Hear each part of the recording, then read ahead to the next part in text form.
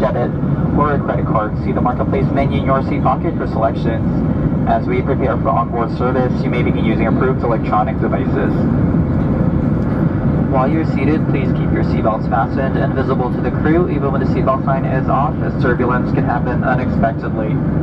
When the seatbelt sign is off, you're free to move about the cabin. However, we request that you do not congregate in groups in any areas, especially around the galleys or lavatories. If you open the overhead compartment, use caution, as carry-on items may have shifted during takeoff.